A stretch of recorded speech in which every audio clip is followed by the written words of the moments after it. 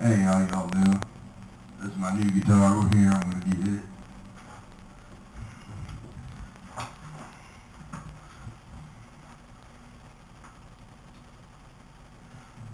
It's too loud, I don't know